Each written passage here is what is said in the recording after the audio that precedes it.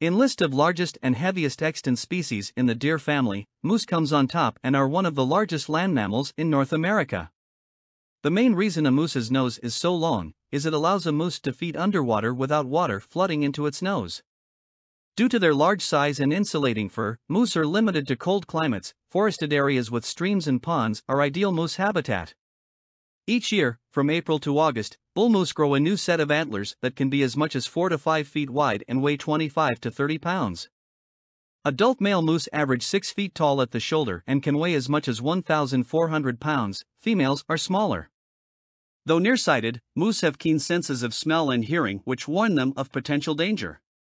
Despite their ungainly appearance, these large animals can run through the forest at speeds up to 35 miles per hour. Moose are herbivores, meaning they only eat plants. They survive on browse, the leaves and twigs of woody plants.